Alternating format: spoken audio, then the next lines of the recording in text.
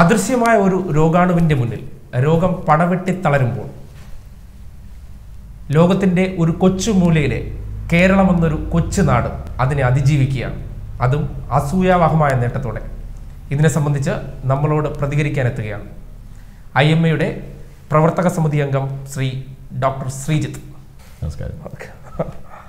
അപ്പോൾ ഡോക്ടറെ ഒരു കൊറോണ ഒരു വലിയ മഹാമാരി നമ്മളിപ്പോൾ ഒരു ഒരു മാസത്തിലേറെ പിന്നിടുന്നു. സുരക്ഷിതരായ. ഞാൻ പറയും നമ്മൾ ക്വാർട്ടർ ഫൈനൽ ജയിച്ചു. സെമി ഫൈനൽസും ഫൈനൽസും ഇനി ബാക്കിയാണ്. ഇപ്പോൾ നമുക്ക് ഇതിനെ പല ഘട്ടമായിട്ട് കാണുകയാണെങ്കിൽ നമ്മൾ ആദ്യത്തെ ഒരു ഘട്ടം ഒരു ഒരു നോക്കൗട്ട് സ്റ്റേജാണ് ആദ്യമായി വൈറസ് നമ്മുടെ നാട്ടിലേക്ക് വരുന്നു. അപ്പോൾ ആ ഒരു സമയത്ത് ആദ്യമായി ജനുവരിയിൽ ലോകത്തെ പല രാഷ്ട്രങ്ങളിൽ പോയതിന്റെ കൂട്ടത്തിൽ ഇന്ത്യയിലെത്തിയത് കേരളം വഴിയാണ്. അന്ന് വളരെ ഇഫക്റ്റീവായിട്ട് നമുക്കതിനെ തടയാൻ സാധിച്ചു. വുഹാനിൽ നിന്ന് വന്ന മൂന്ന് വിദ്യാർത്ഥികളെയും തുടക്കത്തിൽ തന്നെ കണ്ടുപിടിച്ചു. ഒരാൾക്ക് പോലും സമ്പർക്കം ഉണ്ടാകാത്ത രീതിയിൽ നമുക്ക് ഐസൊലേറ്റ് ചെയ്യാനും ആദ്യത്തെ ആ ഒരു നോക്കൗട്ട് സ്റ്റേജ് നമുക്ക് ഇഫക്റ്റീവായി തരണം ചെയ്യാനും സാധിച്ചു. രണ്ടാമത്തെ ഒരു പ്രീ ക്വാർട്ടർ ഫൈനലിലാണ് ആഹ്, ഇറ്റലിയിൽ നിന്ന് വന്ന ആൾക്കാർ ചെറിയൊരു പ്രശ്നം ഉണ്ടാക്കിയത്. അപ്പോൾ അവിടെ നമുക്ക് ശകലം പൊരുതേണ്ടി വന്നു. കാരണം അവർ വന്ന ഉടൻ നമുക്കറിയാൻ സാധിച്ചില്ല. അവർ വന്ന് കുറച്ച് ആളുകൾക്ക് രോഗം കിട്ടിക്കഴിഞ്ഞപ്പോഴാണ് നമ്മൾ അറിഞ്ഞത്. പക്ഷേ എന്നാൽ പോലും വളരെ തീവ്രമായിട്ടുള്ള ശ്രമം കാരണം പ്രത്യേകിച്ച് പത്തനംതി പത്തനംതിട്ട ജില്ലയിൽ നന്നായിട്ട് അതിനെ നിയന്ത്രിച്ചു. അതേ തുടർന്ന് പുറത്തുനിന്ന് വന്ന പല രാജ്യങ്ങളിലെയും വ്യക്തികൾക്ക് ഇത് കണ്ടു തുടങ്ങി. പ്രത്യേകിച്ച് ഗൾഫിൽ നിന്ന് ദുബായിൽ നിന്നുമൊക്കെ വന്ന നിരവധി പേർക്ക് ഈ രോഗം കണ്ടു തുടങ്ങി. അപ്പോൾ അവരെയും അതുപോലെ അവരുമായി ബന്ധപ്പെട്ട ആൾക്കാരെയും മുഴുവൻ നിരീക്ഷണത്തിൽ ഏർപ്പെടുക എന്ന ഏർപ്പെടുത്തുക എന്ന വളരെ ശ്രമകരമായിട്ടുള്ളൊരു ദൗത്യമാണ് പിന്നെ ഉണ്ടായത്. അപ്പം ആ പ്രീ ക്വാർട്ടർ ഫൈനലിൽ നമുക്ക് പിന്നെ ഈ പറഞ്ഞ മാതിരി ഒരു ഒന്നൊന്നേ മുക്കാൽ ലക്ഷത്തോളം ആളുകൾ നിരീക്ഷണത്തിലായി. ഏതാണ്ട് മുന്നൂറിലധികം ആളുകൾക്ക് രോഗം സ്ഥിരീകരിക്കുന്ന അവസ്ഥയുണ്ടായി. പക്ഷെ അവിടെയും വളരെ തീവ്രമായി ശ്രമിച്ച് ആരോഗ്യവകുപ്പിനെ നമുക്ക് അഭിനന്ദിക്കേണ്ടതുണ്ട്. കാരണം അത് സമൂഹ വ്യാപനത്തിലേക്ക് പോകാത്ത ഒരു ഘട്ടത്തിലേക്ക് നമുക്ക് എത്തിക്കാൻ സാധിച്ചു. ആ അവിടെ നിന്ന് ഇവരുമായി നേരിട്ട് ഇടപഴകിയവർക്കാണ് രോഗം പിന്നെ ഉണ്ടായത്. നേരിട്ട് ഇടപഴകാത്ത ആളുകൾക്ക് ഒന്നോ രണ്ടോ പേർക്ക് ഉണ്ടായോ എന്ന് സംശയം ഉണ്ടെങ്കിൽ പോലും ഒരു വലിയ തോതിലുള്ള ഒരു വ്യാപനത്തിലേക്ക് അത് പോയില്ല. അത് കഴിഞ്ഞാണ് നമ്മൾ ക്വാർട്ടർ ഫൈനൽ സ്റ്റേജിൽ എത്തുന്നത് അതാണ് ഈ ലോക്ക്ഡൗൺ അപ്പോൾ ലോക്ക്ഡൗൺ എന്ന് പറയുമ്പോൾ ആർക്കും രോഗമുണ്ടാകാതിരിക്കാൻ വേണ്ടി ആരും അങ്ങോട്ടും ഇങ്ങോട്ടും ഇടപഴകാതിരിക്കുക അല്ലെങ്കിൽ ബന്ധപ്പെടാതിരിക്കുക അല്ലെങ്കിൽ ശരിയായ രീതിയിലുള്ള ഒരു അകലം പാലിക്കുക. അതിനാണ് നമ്മൾ ഈ ലോക്ക്ഡൗൺ കൊണ്ടുവന്നത്. ലോക്ക്ഡൗൺ പക്ഷേ കേരളത്തെ സംബന്ധിച്ചിടത്തോളം എനിക്ക് തോന്നുന്നു വളരെ ഫലപ്രദമായി നടപ്പിലാക്കാൻ സാധിച്ചു. അത് അധികാരികളും അതുപോലെ തന്നെ പിന്നെ നമ്മുടെ എല്ലാ പിന്നെ വകുപ്പുകളും സർക്കാർ വകുപ്പുകളും സന്നദ്ധ സംഘടനകളും ഏറ്റവും വലുതായി പൊതുജനങ്ങൾ അത് ഏറ്റെടുത്തു. അപ്പോൾ അങ്ങനെ പൊതുജനങ്ങൾ ഏറ്റെടുത്ത് അത്യാവശ്യമല്ലാത്ത എല്ലാ യാത്രകളും അവർ ഒഴിവാക്കി സ്വന്തം വീടുകളിൽ തന്നെ കഴിയാൻ തീരുമാനിച്ചതുകൊണ്ട് വളരെ ഒരു എന്താണ് വിജയകരമായ രീതിയിൽ ആ ലോക്ക്ഡൗണിന്റെ ആ കാലാവധി കേരളത്തിൽ പിന്നിടാൻ സാധിച്ചു. കാരണം കേരളത്തിൽ ഇപ്പോൾ ഇന്നലെ രണ്ട് പുതിയ കേസുകളാണ് റിപ്പോർട്ട് ചെയ്യപ്പെട്ടത്. അപ്പോൾ ഒരു പിന്നെ പത്തും ഇരുപതും മുപ്പതും റിപ്പോർട്ട് ചെയ്തുകൊണ്ടിരുന്ന സ്ഥാനത്ത് നിന്ന് അതിനെ രണ്ടിലേക്ക് എത്തിക്കാൻ സാധിച്ചു. ഇനി നമുക്ക് ഈ ലോക്ക്ഡൗണിൽ നിന്ന് പുറത്തേക്ക് ഘട്ടം ഘട്ടമായി വരേണ്ടതിനെ കുറിച്ച് ആലോചിക്കേണ്ടതുണ്ട്. അവിടെയാണ് നമ്മുടെ സെമി ഫൈനൽസ് വരുന്നത്. അത് കഴിഞ്ഞിട്ട് ഒരു പഴയ രീതിയിലേക്കുള്ള ഒരു സാമൂഹ്യ ഇടപെടൽ. അതാണ് നമ്മുടെ ഫൈനൽസ് അപ്പോൾ അവ ആ രണ്ട് ഘട്ടത്തിൽ നമുക്ക് രോഗവ്യാപനം ഉണ്ടാകാതിരിക്കണം. അതിനുവേണ്ടി ശരിയായ പ്ലാനിങ് ചെയ്ത് ശരിയായ മാർഗങ്ങൾ അവലംബിക്കേണ്ട ഒരു ഹോംവർക്ക് സമയമാണ് ഈ ക്വാർട്ടർ ഫൈനൽ സമയം അല്ലെങ്കിൽ ഈ ലോക്ക്ഡൗൺ സമയം. ഇപ്പോൾ സോഷ്യൽ സ്പ്രെഡിങ് എന്നൊരു സ്റ്റേജിൽ നിന്ന് നമ്മൾ അതിജീവിച്ച് കഴിഞ്ഞു അപ്പോൾ. ഏകദേശം നോക്കുകയാണെങ്കിൽ കേരളത്തെ സംബന്ധിച്ച് നോക്കുകയാണെങ്കിൽ. ഇപ്പോൾ സമൂഹ വ്യാപനം ഇന്ന് നടക്കുന്നുണ്ടോ എന്ന് ചോദിച്ചാൽ പ്രായോഗികമായി അതിന്റെ ഉത്തരം ഇല്ല എന്നുള്ളതാണ്. കാരണം സമൂഹ വ്യാപനം നടക്കുകയാണെങ്കിൽ ചിലപ്പോൾ ഒറ്റയ്ക്കപ്പെട്ടൊക്കെ അവിടെ ഇവിടെയൊക്കെ ഓരോ ഓരോന്നൊക്കെ ഉണ്ടാകാമായിരിക്കാം. പക്ഷേ സമൂഹ വ്യാപനം കൊണ്ട് നമ്മൾ ഉദ്ദേശിക്കുന്ന നിരവധി പേർക്ക് രോഗം എത്തുന്ന ഒരു ഘട്ടം. അവർക്ക് ഒരു കോണ്ടാക്റ്റും ഇല്ലാതെ അതായത് ആരിൽ നിന്ന് കിട്ടിയെന്ന് അറിയില്ല പക്ഷെ അവർക്ക് രോഗം വരുന്നു. സമൂഹത്തിൽ നിന്ന് എവിടെന്നോ അവർക്ക് രോഗം കിട്ടിയിരിക്കുന്നു. അതിനെയാണ് നമ്മൾ സമൂഹ വ്യാപനം എന്ന് പറയുന്നത്. അപ്പോൾ നമുക്ക് ഇപ്പോഴുള്ള നിലവിലുള്ള തെളിവുകൾ വെച്ച് നോക്കുകയാണെങ്കിൽ അത്തരത്തിൽ വ്യാപനം ഉണ്ടായിരിക്കുവാനുള്ള ഒരു സാധ്യത വളരെ വളരെ വിരളമാണ്. കാരണം അങ്ങനെയാണെങ്കിൽ നമ്മൾ ഈ ആശുപത്രികളിലൊക്കെ ഒരുപാട് കേസുകൾ പെട്ടെന്ന് കൂടുന്നതായി കാണാം. അല്ലെങ്കിൽ പെട്ടെന്ന് രോഗാതുരത കൂടുന്നതായി കാണാം. അപ്പോൾ ഇങ്ങനത്തെ പല പ്രശ്നങ്ങൾ നമ്മൾ ഉണ്ടാകാൻ സാധ്യതയുള്ള പല പ്രശ്നങ്ങളും നമ്മളിപ്പോൾ കാണുന്നില്ല. അപ്പോൾ അതിന്റെ അർത്ഥം സമൂഹ വ്യാപനം ഒരുപക്ഷെ ഈ ഘട്ടത്തിൽ ഇല്ല. എന്ന് കരുതി സമൂഹ വ്യാപനം ഉണ്ടാകില്ല എന്ന് ഉറപ്പ് പറയാൻ കഴിയുമോ എന്ന് ചോദിച്ചാൽ അതിന്റെ ഉത്തരവും ഇല്ല എന്നുള്ളതാണ്. കാരണം എന്തുകൊണ്ടാണ് ഇപ്പൊ സമൂഹ വ്യാപനം ഇല്ലാത്തത്? ഇപ്പൊ സമൂഹ വ്യാപനം ഇല്ലാത്തത് ഈ നമുക്കറിയാം ഒരു ഇത് പകരുന്നത് എങ്ങനെയാണ്? ഒരു രോഗിയുടെ സ്രവങ്ങളിൽ കൂടിയാണ്. അപ്പം ഈ ഒരു രോഗി ചുമയ്ക്കുകയോ തുമ്മുകയോ സംസാരിക്കുകയോ ചെയ്യുമ്പോൾ പുള്ളി അദ്ദേഹത്തിൽ നിന്ന് വരുന്ന ശ്രമങ്ങളുടെ തൊട്ടടുത്ത് ഒരാൾ നിൽക്കുകയാണെങ്കിൽ മൂന്നടി അകലത്തിനുള്ളിൽ അല്ലെങ്കിൽ ആറടി അകലത്തിനുള്ളിൽ ഒരാൾ നിൽക്കുകയാണെങ്കിൽ അത് നേരിട്ട് പതിക്കാൻ സാധ്യതയുണ്ട്. പക്ഷെ ഭൂരിപക്ഷം പേരിലും എങ്ങനെയാണ് വരുന്നത്? അദ്ദേഹത്തിന്റെ ഈ സ്രവങ്ങൾ പല പ്രതലങ്ങളിൽ വീണ് കിടക്കും. മേശപ്പുറത്താകാം കസേരയിലാകാം ഈ വാതിൽപ്പടിയിലാകാം സ്വിച്ചിലാകാം ഈ സാനിറ്റൈസറിന്റെ മുകളിൽ പിതുക്കുന്ന സാധനത്തിൽ വരെ ആകാം. അപ്പോൾ നമ്മുടെ മലിനമായ കരങ്ങൾ നമ്മൾ അവിടെ തൊടുമ്പോഴേക്ക് വൈറസ് വരുന്നു. വൈറസ് കിടക്കുന്ന സ്ഥലത്ത് നമ്മൾ തൊട്ട് കഴിയുമ്പോൾ നമ്മുടെ കയ്യിൽ ഇത് പറ്റുന്നു. പിന്നെ നമ്മൾ എവിടെയൊക്കെ തൊടുന്നോ അവിടെ എല്ലാം അത് പറ്റുന്നു. നമ്മൾ കണ്ണിലോ മൂക്കിലോ വായിലോ തൊട്ടാൽ നമ്മുടെ ഉള്ളിലേക്ക് അത് പോകുന്നു. അപ്പം ഈ രോഗം ഒരാളിൽ നിന്ന് മറ്റൊരാളിലേക്ക് പോകുന്നത് രണ്ട് മാർഗത്തിൽ കൂടിയാണ്. ഒന്ന് രോഗിയുടെ തൊട്ടടുത്ത് നിൽക്കുന്നു. അല്ലെങ്കിൽ രോഗി പോയ സ്ഥലങ്ങളിലെ പ്രതലങ്ങളിൽ തൊടുന്നു. സ്രവങ്ങൾ വീണ് കിടക്കുന്ന പ്രതലങ്ങളിൽ തൊടുന്നു. അപ്പോൾ നമ്മൾ രോഗിയുടെ അടുത്തേ പോയില്ല. രോഗി പോയ ഒരു സ്ഥലത്തും നമ്മൾ പോയില്ല. എങ്കിൽ നമുക്ക് രോഗം വരില്ല.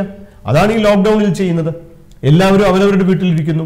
അപ്പം ആർക്ക് രോഗമുണ്ടെന്ന് നമുക്കറിയില്ല. അപ്പൊ ആരും ആരുടെ അടുത്തേക്ക് പോകുന്നില്ല. അപ്പൊ രോഗം പകരുന്നില്ല. അതാണ് ഈ പക്ഷേ ഇനി അടുത്ത ഘട്ടത്തിൽ നമ്മൾ എന്താണ് ചെയ്യുന്നത്?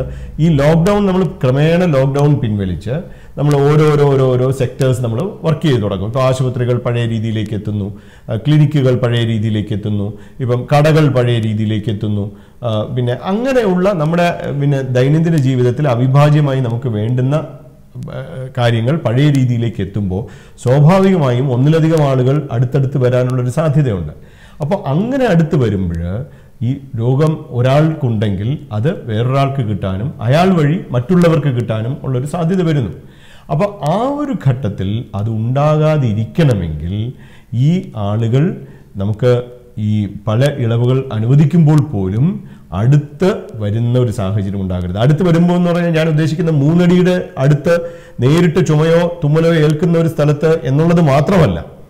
രോഗിയുടെ സ്രവങ്ങൾ വീണ് കിടക്കുന്ന സ്ഥലങ്ങളിൽ തൊടുവാനും ഇടവരരുത്. അഥവാ തൊടുകയാണെങ്കിൽ സോപ്പ് ഉപയോഗിച്ച് കൈ കഴുകി അതിനെ വൃത്തിയാക്കാനുള്ള സാഹചര്യം ഉണ്ടാക്കണം.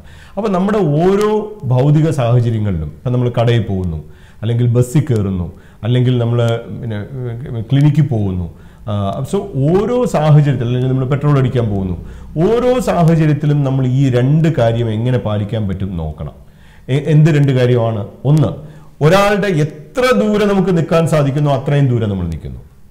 രണ്ട് അയാൾ തൊട്ട ഒരു വസ്തുക്കളിലും നമ്മൾ തൊടാതിരിക്കുന്നു. കഴിയുന്നിടത്തോളം കഴിയുന്നിടത്തോളം. നമ്മൾ ആവശ്യമില്ലാതെ അവിടെ ഇവിടെ തൊടുന്നു ഇത് ചെയ്യുന്നു ഇത് ചെയ്യുന്നു ആൾക്കാർ അങ്ങോട്ടും ഇങ്ങോട്ടും കെട്ടിപ്പിടിക്കുന്നു ഷേക്കിന്റെ കൊടുക്കുന്നു ഇത് ചെയ്യുന്നു. അല്ലെങ്കിൽ ഒരു ഒരേ ആൾ തന്നെ ഒരേ ഗ്ലാസ് തന്നെ വീണ്ടും വീണ്ടും ആൾക്കാർ എടുക്കുന്നു. അങ്ങനെ ഉണ്ടാവരുത്. അപ്പം കഴിയുന്നതും നമ്മൾ അത്തരത്തിൽ അകലം പാലിക്കുന്നു. മൂന്ന് കഴിയുന്നിടത്തോളം നമ്മൾ കൈകൾ സോപ്പും വെള്ളവും ഉപയോഗിച്ച് കഴുകി അല്ലെങ്കിൽ ആൽക്കഹോൾ റബ്ബ് ഉപയോഗിച്ച് അഥവാ കയ്യിൽ അണുക്കൾ പറ്റിയിട്ടുണ്ടെങ്കിൽ അതിനെ ഇല്ലാതാക്കുന്നു. മാത്രമല്ല സർക്കാർ നിർദ്ദേശിക്കുന്ന രീതിയിലുള്ള മാസ്ക് ഉപയോഗിക്കുന്നു. ഇനി ഓരോ സ്ഥലത്ത് പോകുമ്പോഴും ഇതേ രീതിയിലുള്ള അകലം പാലിക്കാനുള്ള പ്രായോഗിക മാർഗങ്ങളിലേക്ക് ഓരോ സെക്ടറും എത്തണം. അത് നമ്മൾ ഓരോരുത്തരായിട്ട് ഈ ഘട്ടത്തിൽ ശീലിച്ചു കഴിഞ്ഞാൽ ആ ഘട്ടവും നമുക്ക് പിന്നെ ഒരു സമൂഹ വ്യാപനമില്ലാതെ തരണം ചെയ്യുവാൻ സാധിക്കും. നമ്മുടെ ലോക്ക്ഡൗണിന്റെ ആദ്യ ഘട്ടം അവസാനിക്കാൻ പോകണം ഇനി ഒരു ചുരുങ്ങിയ ഒരു രണ്ട് ദിവസത്തിന്റെ കാലാവധി മാത്രമേ ഉള്ളൂ. ഒരു ഇപ്പോൾ ഡോക്ടർ പറഞ്ഞ ഇത്രയും കാര്യങ്ങൾ യാഥാർത്ഥ്യമായിട്ട് വരാനായിട്ട് ഒരു സോഷ്യൽ ഡിസ്റ്റൻസ് നമ്മൾ എത്ര കാലം കീപ്പ് ചെയ്യേണ്ടി വരുമെന്നാണ് ഇപ്പോഴത്തെ ഒരു നിഗമനം എന്ന് പറഞ്ഞത്. നമുക്ക് സി ഈ ഘട്ടത്തിൽ കേരളത്തെ സംബന്ധിച്ചിടത്തോളം ഈ ഘട്ടത്തിൽ ഈ രോഗം അടങ്ങിയിട്ടുണ്ട്. പ്രായോഗികമായി പറയുമ്പോൾ കേരളത്തിൽ ഇപ്പം നമുക്ക് ഈ ലോക്ക്ഡൗണിന് മുമ്പുണ്ടായിരുന്ന ഒരു സ്ഥിതിയിൽ നിന്ന് വളരെ വ്യത്യസ്തമായിട്ടുണ്ട്. ലോക്ക്ഡൗണിന് മുമ്പുണ്ടായിരുന്ന ഒരു സ്ഥിതിയിൽ ആർക്കൊക്കെ രോഗമുണ്ട് എന്ന് നമുക്ക് മുൻകൂട്ടി അറിയില്ല. ആരിലെങ്കിലുമൊക്കെ ഇത് സംശയിക്കാതിരിക്കേണ്ടതുണ്ടോ? അല്ലെങ്കിൽ ഇവരിലൊക്കെ രോഗമുണ്ടെന്ന് സംശയിക്ക ഒരാൾ സംശയിക്കുകയാണെങ്കിൽ നമുക്ക് കുറ്റം പറയാനും പറ്റില്ല. ഇപ്പം അങ്ങനല്ല. ഇപ്പം ഈ ഇരിക്കുന്ന നമ്മുടെ ജനങ്ങളിൽ ഭൂരിപക്ഷത്തിനും ഈ രോഗമില്ല. അത് അത് അതൊരു വസ്തുതയാണ്. പക്ഷേ ഇനി ഇപ്പോൾ ഒരാൾക്ക് പോലും രോഗമുണ്ടെങ്കിൽ ഒരാൾക്ക് പോലും രോഗമുണ്ടെങ്കിൽ അയാളിൽ നിന്ന് ഒന്നോ രണ്ടോ മൂന്നോ പേർക്ക് കിട്ടിയാൽ അവരിൽ നിന്ന് വീണ്ടും രണ്ടോ മൂന്നോ പേർക്ക് കിട്ടിയാൽ അവരിൽ നിന്ന് വീണ്ടും രണ്ടോ മൂന്നോ പേർക്ക് കിട്ടിയാൽ അടുത്ത് വരുന്ന ഒരു ഇരുപത് മുപ്പത് ദിവസം കൊണ്ട് നമ്മൾ തിരിച്ച് മുപ്പത് ദിവസം മുമ്പുള്ള അവസ്ഥയിലേക്ക് ചെന്നെത്തും. അപ്പം അത് ഉണ്ടാകാതിരിക്കാൻ വേണ്ടി നമ്മൾ ഓരോരുത്തരും അപ്പം സർക്കാർ കുറേ മാനദണ്ഡങ്ങൾ കൊണ്ടുവരുന്നുണ്ട്. അപ്പം നമ്മുടെ മേഖലയിൽ നമുക്ക് എന്ത് ചെയ്യാൻ പറ്റും എന്ന് ഓരോരുത്തരും ചിന്തിക്കണം. ഇപ്പോൾ ഒരു കട തുറക്കുന്ന ആളാണെങ്കിൽ അതിപ്പം സർക്കാർ ഇപ്പോൾ പിന്നെ ആറടി അകലം പാലിക്കണം ആൾക്കാർ തമ്മിൽ എന്ന് പറയുമ്പോൾ അതിന് എന്തുകൊണ്ടാണ് എന്ന് നമ്മൾ മനസ്സിലാക്കണം. അപ്പം നമ്മൾ ഈ ചെയ്യുന്ന ഓരോന്നും എല്ലാവരും എല്ലാവർക്കും ഒരു ബോധം വേണം. എനിക്ക് കോവിഡ് രോഗബാധ ഉണ്ടാകാതിരിക്കാൻ ഞാൻ ശ്രദ്ധിക്കും. ഈ ഒരു ബോധം എല്ലാവർക്കും ഉണ്ടെങ്കിൽ സമൂഹത്തിൽ എല്ലാവർക്കും ഉണ്ടെങ്കിൽ ആർക്കും വരില്ല. അപ്പോൾ ആ ഒരു ബോധം ഓരോരുത്തരും അവരവരുടെ ബിസിനസ്സിൽ അപ്ലൈ ചെയ്യണം. അപ്പോൾ ഉദാഹരണത്തിന് ഇപ്പോൾ ഞാനിപ്പോൾ എന്റെ ക്ലിനിക്കിൽ എല്ലാ വാതിലും തുറന്നിട്ടിരിക്കുകയാണ്. ആ പേഷ്യൻസിനെ കഴിയുന്നിടത്തോളം ഞങ്ങൾ വെളിയിൽ വെയിറ്റ് ചെയ്യാനാണ് പറയുന്നത്. കാരണം ഔട്ട്ഡോറിൽ അതിന്റെ സ്പ്രെഡിന് സാധ്യത കുറവാണ്. വരുന്ന എല്ലാവർക്കും മാസ്ക് കൊടുക്കുന്നു. നമ്മൾ മാസ്ക് ധരിക്കുന്നു. ഇപ്പം ഞാൻ പേഷ്യൻസിനെ കാണാൻ ഗൗൺ ഉപയോഗിക്കുന്നു. ഈ ഗൗൺ ഇവിടെ തന്നെ കഴുകാനിട്ടിട്ടാണ് ഞാൻ വീട്ടിൽ പോകുന്നത്. അപ്പോൾ എന്റെ വീട്ടിലേക്ക് ഞാൻ ഇതിനെ കൊണ്ടുപോകുന്നില്ല. അപ്പോൾ ഇങ്ങനെ നമ്മുടെ ഓരോ സെക്ടറിലും അത് ആശുപത്രികളിൽ മാത്രമല്ല ആശുപത്രികളിൽ വൈറസ് സാധ്യത കൂടുതലാണ് കാരണം രോഗികളാണ് അവിടെ വരുന്നത്. പക്ഷേ എല്ലാ സെക്ടറിലും അതിനുള്ള സാധ്യതയുണ്ട്. അപ്പോൾ ഒരു കടയിലായാലും ഒരു ഒരു ഒരു വർക്ക്ഷോപ്പിലായാലും ഒരു പിന്നെ വാഹനത്തിലായാലും ഒക്കെ ഈ വൈറസ് നമ്മളിലേക്ക് വരാതിരിക്കാൻ എന്താണ് നമ്മൾ ചെയ്യേണ്ടതെന്നും അഥവാ നമ്മിലുണ്ടെങ്കിൽ നമ്മിൽ നിന്ന് പുറത്തേക്ക് പോകാതിരിക്കാൻ എന്താണ് നമ്മൾ ചെയ്യേണ്ടതെന്നും വ്യക്തമായി നമ്മൾ മനസ്സിലാക്കിയാൽ മൂന്നേ മൂന്ന് കാര്യമേ ഉള്ളൂ. ഒന്ന് കഴിയുന്നതും അകലം പാലിക്കുക. പോണ്ടാത്തടത്ത് പോകാതിരിക്കുക തൊടണ്ടാത്തടത്ത് തൊടാതിരിക്കുക. കൈ എപ്പോഴും തൊഴുതു വെച്ചേക്കുക. ആവശ്യമില്ലാതെ തൊടണ്ട. നിങ്ങൾ നമ്മൾ തൊടുമ്പോഴാണ് ഈ ഇത് വരുന്നത്. അപ്പം വളരെ സിമ്പിളാണ്. നമ്മൾ തൊട്ടില്ലെങ്കിൽ നമ്മുടെ കയ്യിൽ ഇത് വരില്ല. അപ്പോൾ ആവശ്യമില്ലാത്തടത്ത് തൊടാതിരിക്കുക കഴിയുന്നതും അകലം പാലിക്കുക. രണ്ട് കൈകൾ ഇടയ്ക്കിടയ്ക്ക് സോപ്പിട്ട് നന്നായി കഴുകുക. കയ്യിൽ എന്തെങ്കിലും ഉണ്ടെങ്കിൽ അത് പോയി. മൂന്ന് രോഗം ഉള്ളവർ നേരത്തെ പറഞ്ഞു സർജിക്കൽ മാസ്ക് ആശുപത്രികളിൽ ഉപയോഗിക്കേണ്ട മാസ്കും. രോഗമില്ലാത്തവരാണെങ്കിലും സർക്കാർ പറയുന്ന മാതിരിയുള്ള തുണി മാസ്ക് ഉപയോഗിച്ചിട്ട് അതും ഉപയോഗിക്കേണ്ട രീതിയിൽ ഉപയോഗിക്കണം. ഇല്ലെങ്കിൽ അത് ഗുണത്തെക്കാൾ ദോഷം ചെയ്യും. എന്ന് വെച്ച് കഴിഞ്ഞാൽ നമ്മൾ അവിടെ നമ്മൾ ഈ ഈ വൈറസ് ഈ മാസ്ക് എന്ന് പറഞ്ഞാൽ മാസ്കിന്റെ പുറത്ത് ഈ സ്രവങ്ങളൊക്കെ വന്ന് കളക്ട് ചെയ്യും.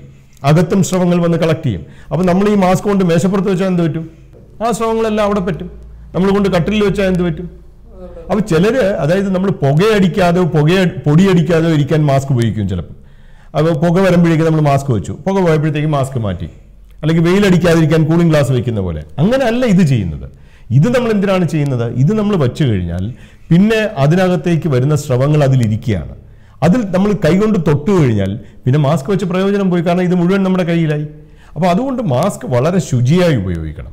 ഉപയോഗിച്ച് കളയേണ്ട മാസ്കുകളാണെങ്കിൽ മാസ്ക് ഉപയോഗിക്കുമ്പോൾ ആദ്യം നമ്മൾ കൈ നന്നായി കഴുകണം. മാസ്കിന്റെ വള്ളിയിൽ മാത്രം പിടിച്ച് ഫിറ്റ് ചെയ്യണം. മൂക്കും വായും മുഴുവൻ മൂടണം. ഒരിക്കൽ വെച്ച് കഴിഞ്ഞാൽ പിന്നെ തുടരുത്. ഇനി അഥവാ വെള്ളം കുടിക്കണം എന്നിരിക്കട്ടെ മാസ്ക് വെച്ചുകൊണ്ടിരിക്കുമ്പോൾ വെള്ളം കുടിക്കണം. എന്ത് ചെയ്യണം? നമ്മൾ കുപ്പിയിൽ വെള്ളം എടുത്തു അല്ലെങ്കിൽ ഗ്ലാസ് വെള്ളം എടുത്തു. ഇതിനെ നമ്മൾ ഇങ്ങനെ വെച്ച് തുറന്ന് വെള്ളം കുടിച്ചിട്ട് തിരിച്ച് അതുപോലെ അടയ്ക്കുക. വള്ളിയിൽ മാത്രമേ നമ്മൾ തൊടുന്നുള്ളൂ മാസ്ക് തൊടുന്നില്ല. പക്ഷെ കഴിയുന്നതും അതും വേണ്ടെന്ന് വെക്കുക. ഇനി മാസ്കിൽ നനവ് തോന്നുകയാണെങ്കിലോ അല്ലെങ്കിൽ ആറ് മണിക്കൂറിലധികമായെങ്കിലോ അല്ലെങ്കിൽ നമ്മൾ പോയി വരുമ്പോഴാണെങ്കിലോ ഡിസ്പോസിബിൾ മാസ്ക് ആണെങ്കിൽ ഇങ്ങനെ എടുത്ത് നമ്മുടെ ദേഹത്ത് തൊടാതെ പുറത്തേക്ക് ഒരു കൂടിലോ വല്ലതും ഇടുകയോ അല്ലെങ്കിൽ ഒരു ബ്ലീച്ചിങ് ലൈനിൽ ഇട്ടിട്ട് ഡിസിൻഫെക്ട് ചെയ്ത ശേഷം കുഴിച്ചിടുകയോ വല്ലതും ചെയ്യുക. അതല്ല പിന്നെ മറ്റേ തുണി മാസ്ക് ആണെങ്കിൽ നമ്മൾ ഇതുപോലെ തന്നെ തിരിച്ച് വന്നിട്ട് ഇപ്പം കെട്ടുന്നതാണെങ്കിൽ താഴത്തെ കെട്ടഴിക്കുക എന്നിട്ട് എപ്പോഴും മാസ്ക് ഫിറ്റ് ചെയ്യുന്നതിന് മുമ്പ് കൈ കഴുകിയിരിക്കണം. മാസ്കിൽ എപ്പോൾ തൊട്ടാലും അപ്പം കൈ കഴുകണം. മാസ്ക് ഊരിക്കഴിയുമ്പോഴും നമ്മൾ ഇതഴിച്ചു ഇതഴിച്ചു. ബ്ലീച്ചിങ് ലൈനിയിൽ നമ്മളത് ഇട്ടു. എന്നിട്ട് നമ്മളത് പിന്നെ സോപ്പ് വെള്ളത്തിൽ നന്നായി കഴുകി എന്നിട്ട് വെയിലത്തിട്ട് ഉണക്കി തേച്ചിട്ട ശേഷം തിരിച്ചിട്ട് തിരിച്ചിട്ടു. ഈ നമ്മൾ ചന്തയിലും അവിടെ ഇവിടെയൊക്കെ വലിച്ചെറിയുക റോഡിൽ മുഴുവൻ ഇടുക അല്ലെങ്കിൽ നമ്മൾ തന്നെ വീട്ടിൽ കൊണ്ടുപോയി അവിടെ ഇവിടെയും വെക്കുക എന്ന് പറയുമ്പോഴേക്ക് ഇത് രോഗാണുക്കളെല്ലാം അവിടെ ഇവിടെയും പടരാൻ സാധ്യമാകും. അപ്പം അങ്ങനെ നമ്മൾ ചെയ്യരുത്. നമുക്കിപ്പോൾ മാസ്ക് കെട്ടി ശീലമുള്ള ഒരു രാജ്യമല്ല. അപ്പം അതുകൊണ്ട് കുറച്ച് സമയം എടുക്കും. അത് നമ്മൾ സൈക്കിൾ ഓടിക്കാൻ പഠിക്കുന്ന പോലെയാണ്. കുറച്ച് സമയം എടുക്കും. എടുത്തു എടുത്തോളൂ. കുഴപ്പമില്ല. കാരണം ഇപ്പം വലിയ ഒരു കൊറോണ വ്യാപനം ഇല്ലാത്തതുകൊണ്ട് പക്ഷെ വരുന്ന ഒരു നാലഞ്ചാറ് ദിവസം കൊണ്ട് നമ്മളിത് ശീലിക്കണം. ശരിയായ രീതിയിൽ മാസ്ക് ഉപയോഗിക്കാനും നമ്മൾ ശീലിക്കണം. അപ്പോൾ ഈ മൂന്ന് മാർഗങ്ങൾ കഴിയുന്നതും അകലം പാലിക്കുക കൈകൾ നല്ല വൃത്തിയായി സൂക്ഷിക്കുക ശരിയായ രീതിയിൽ മാസ്ക് ഉപയോഗിക്കുക. അത് നമ്മൾ കൃത്യമായി സമൂഹത്തിൽ ഓരോരുത്തരും ചെയ്യുകയാണെങ്കിൽ നമുക്ക് ഈ രോഗത്തിനെ അകറ്റി നിർത്താൻ സാധിക്കും. രോഗം പൂർണമായി നമുക്ക് നിശ്ചിന്തനായി അതായത് ഈ രോഗം കംപ്ലീറ്റ്ലി പോയല്ലോ എന്ന് പറഞ്ഞിരിക്കണമെങ്കിൽ നമുക്കൊരു വാക്സിനോ അല്ലെങ്കിൽ ഒരു മരുന്നോ വേണ്ടി വരും. അത് സമീപകാലത്ത് വരും എന്ന് നമുക്ക് പ്രത്യാശിക്കാം. ഇപ്പോൾ നമ്മൾ ഒരു വലിയ പ്രതിസന്ധി ഘട്ടം ഇനി നേരിടാൻ പോകുന്നത് ഈ കേരളത്തിന് പുറത്ത് ഒരുപാട് വിദേശ രാജ്യങ്ങളിൽ മലയാളികൾ ഉൾപ്പെടെ പെട്ടുകിടക്കുകയാണ് ഇപ്പോൾ ഗൾഫ് രാജ്യങ്ങളിലെല്ലാം പ്രതിസന്ധി അതിരൂക്ഷമാണ്. അവരെല്ലാം നാട്ടിലേക്ക് കൊണ്ടുവരണമെന്ന് കൊണ്ടുപോകണമെന്ന് അവിടെ അവിടുത്തെ സർക്കാരുകളും ആവശ്യപ്പെടുന്നുണ്ട്. ഒരു പക്ഷേ ഇത്രയും പേരെ നമുക്കിവിടെ കൊണ്ടുവന്നാൽ ഇപ്പോഴത്തെ സ്റ്റേജിൽ അഫോർഡബിൾ ആവുക അല്ല നമുക്ക് ഈ പ്രായോഗികമായിട്ടുള്ള സൊല്യൂഷൻ നമുക്ക് ആലോചിക്കേണ്ടി വരും. ഇപ്പം യു- എയിൽ നിന്നോ അല്ലെങ്കിൽ മറ്റേതെങ്കിലും രാജ്യത്ത് നിന്നോ അവിടുത്തെ സർക്കാർ ഇത്രയും പേർ നാട്ടിലേക്ക് പോകണം എന്ന് പറയുമ്പോൾ ഇപ്പം അവർ നമ്മുടെ സഹോദരങ്ങളാണ്. ഇപ്പം നമ്മുടെ ഒരു വീട്ടിൽ തന്നെ ഉള്ള അഞ്ചു പേരിൽ രണ്ട് പേരാണ് അവിടെ നിൽക്കുന്നത്.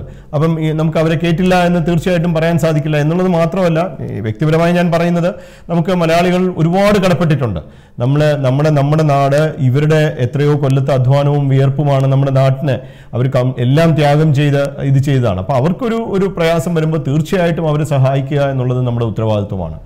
അപ്പോൾ ശ്രമകരമാണ് പക്ഷെ സാധിക്കാത്തതല്ല. ശ്രമകരമാണ്. നമ്മൾ ആകെ ചെയ്യേണ്ടത് എന്താണ്? ഈ പുറത്തുനിന്ന് വരുന്ന ആൾക്കാരുണ്ടെങ്കിൽ. നമുക്ക് എന്താണ് പ്രശ്നം എന്താണ്? കാരണം ഈ ആൾക്കാർ ഒരു രോഗം കൊണ്ടുവരികയാണെങ്കിൽ ആ രോഗം ഇവിടുത്തെ ഉള്ളവർക്ക് കൊടുക്കാതിരിക്കണം. അതാണ്.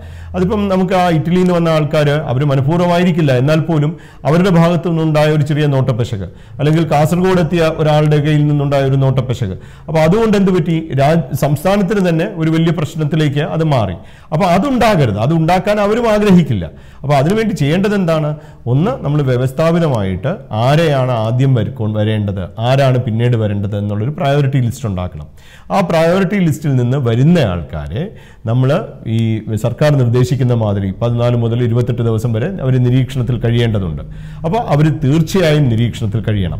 ആ നിരീക്ഷണത്തിൽ കഴിയുന്നത് കഴി- കഴിയുന്നിടത്തോളം സർക്കാർ സംവിധാനത്തിലായിരിക്കണം. കാരണം നമുക്ക് റിസ്ക് എടുക്കാൻ പറ്റില്ല. അവരിപ്പോൾ വീട്ടിൽ പോയി വീട്ടുകാരുമായിട്ട് ബന്ധപ്പെട്ടു അല്ലെങ്കിൽ അപ്പോൾ ഒരാൾക്ക് പകരം പിന്നെ അഞ്ചു പേർക്കായിരിക്കും പ്രശ്നം വരുന്നത്. അപ്പോൾ അതുകൊണ്ട് അവർ ഒറ്റയ്ക്കൊറ്റയ്ക്കുള്ള മുറികളിൽ നിരീക്ഷണത്തിൽ കഴിഞ്ഞ ശേഷം ഇരുപത്തെട്ട് ദിവസത്തിനകത്ത് അവർക്ക് അഥവാ രോഗം വരികയാണെങ്കിൽ അവരെ രോഗ ചികിത്സയ്ക്ക് വേണ്ടി മാറ്റുകയും രോഗം പിന്നെ അവരെ ടെസ്റ്റ് ചെയ്യുകയും. രോഗവുമില്ല ടെസ്റ്റും നെഗറ്റീവ് ആണെങ്കിൽ ഇരുപത്തെട്ട് ദിവസത്തിന് ശേഷം അവർക്ക് മുഖ്യധാരയിലേക്ക് വരാനും സാധിക്കും. സാധാരണ എല്ലാവരുമായിട്ട് മിങ്കിൾ ചെയ്യാൻ സാധിക്കും. അപ്പോൾ തീർച്ചയായിട്ടും അതിനൊരു സൊല്യൂഷൻ ഉണ്ട് അത് ആവശ്യമുള്ളൊരു ഘട്ടത്തിൽ അത് നമുക്ക് ചെയ്യാൻ സാധിക്കുമെന്ന് തന്നെയാണ് എനിക്കും തോന്നുന്നത്. പക്ഷേ ഇപ്പോൾ ഇറ്റലി ഉൾപ്പെടെയുള്ള രാജ്യങ്ങളിലൊക്കെ ആണെങ്കിൽ ഈ സമൂഹ വ്യാപനം വളരെ ശക്തമാണ്. അവിടെ നിന്ന് പറഞ്ഞാൽ നമ്മളിപ്പോൾ ഒരു മാസമായിട്ട് നോക്കുകയാണെങ്കിൽ ഒരു മില്യനോളം മലയാളീസ് വരുമെന്നാണ് ഒരു വിലയിരുത്തൽ എന്ന് പറയുന്നത്. ഇത്രയും പേര് അഫോർഡ് ചെയ്യാനായിട്ടുള്ള ഒരു ശേഷി നമ്മുടെ സ്റ്റേറ്റ് അത് അതുകൊണ്ടാണ് ഞാൻ പറഞ്ഞത്. ഘട്ടം ഘട്ടമായി വരേണ്ടി വരും. മനസ്സിലായില്ലേ? ഘട്ടം ഘട്ടമായി വരേണ്ടി വരും. അതിപ്പോൾ നമുക്ക് ഇപ്പം ഞാൻ ഞാൻ മനസ്സിലാക്കുന്ന ഇപ്പോൾ ബഹുമാനപ്പെട്ട മുഖ്യമന്ത്രി അദ്ദേഹത്തിന്റെ പത്രസമ്മേളനത്തിലൊക്കെ പറഞ്ഞത് ഏതാണ്ട് രണ്ട് രണ്ടര ലക്ഷത്തോളം പിന്നെ ഈ ഐസൊലേഷൻ ഫെസിലിറ്റീസൊക്കെ ഐഡന്റിഫൈ ചെയ്തിട്ടുണ്ടെന്നുള്ളതാണ്. ഇപ്പം നമ്മുടെ ഒഴിഞ്ഞു കിടക്കുന്ന വീടുകൾ ഫ്ലാറ്റുകൾ അപ്പം ബേസിക്കലി അതിപ്പോൾ സർക്കാർ സംവിധാനം എന്ന് പറയുമ്പോൾ സർക്കാർ ആശുപത്രികളോ സർക്കാർ ഗസ്റ്റ് ഹൗസുകളോ എന്നർത്ഥമില്ല. സർക്കാരിന് മേൽനോട്ടം വഹിക്കാൻ സാധിക്കുന്ന നിരീക്ഷണത്തിൽ. കാരണം ഈ വരുന്നതിൽ തൊണ്ണൂറ് ശതമാനവും സദുദ്ദേശത്തോടെയും നല്ല ഇന്റൻഷനോടെയും അവർ സ്വമേധയാ തന്നെ അങ്ങനെ കഴിയുന്ന ആൾക്കാരായിരിക്കാം. പക്ഷേ ഒരു അഞ്ചോ പത്തോ ശതമാനമോ അത് ചെയ്തില്ലെങ്കിൽ അവർ ക്വാറന്റൈൻ ചാടിപ്പോവുകയാണെങ്കിൽ അല്ലെങ്കിൽ വീട്ടിൽ തന്നെ ഒരു മുറിയിൽ കഴിയാതെ മറ്റുള്ളവരുമായി ബന്ധപ്പെടുകയാണെങ്കിൽ അവർക്ക് എല്ലാവർക്കും ഈ റിസ്ക് വരികയാണ്. അപ്പോൾ അതുകൊണ്ട് അവരുടെയും അവരുടെ കുടുംബത്തിന്റെയും നമ്മുടെ സംസ്ഥാനത്തിന്റെയും സുരക്ഷിതത്വത്തെ കരുതി അവർ പിന്നെ പിന്നെ നേരിട്ടുള്ള നിരീക്ഷണത്തിൽ അതായത് നമുക്ക് ഒരു ഒരു സൂപ്പർവൈസ്ഡ് ക്വാറന്റൈൻ അപ്പം അങ്ങനെ ഒരു സംവിധാനത്തിൽ കഴിയേണ്ടത് ആവശ്യമാണ്. അപ്പോൾ ആ സംവിധാനം പല ആളുകൾക്കും വെളിയിൽ നിന്ന് വരുന്ന പല ആളുകൾക്കും അവരുടെ തന്നെ പേയ്മെന്റിൽ ഹോട്ടൽസ് ഒക്കെ ബുക്ക് ചെയ്യാൻ പറ്റും.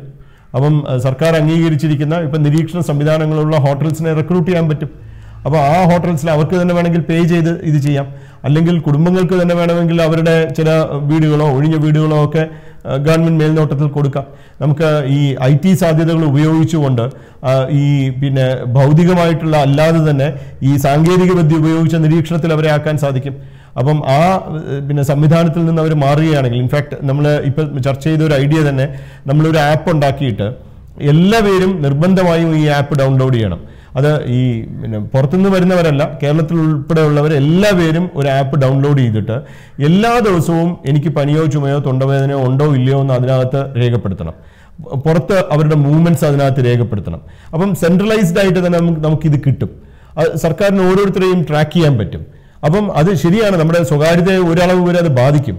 പക്ഷെ ഇപ്പോൾ ഈ വരുന്ന വന്നിട്ട് ഒന്ന് രണ്ട് മൂന്ന് മാസം നമുക്ക് സ്വകാര്യത കോംപ്രമൈസ് ചെയ്താലേ നമ്മുടെ രാജ്യത്തിനെയും നമ്മുടെ കൂടെയുള്ള ജനങ്ങളെയും കുടുംബത്തിനെയും നമുക്ക് രക്ഷിക്കാൻ സാധിക്കുള്ളൂ.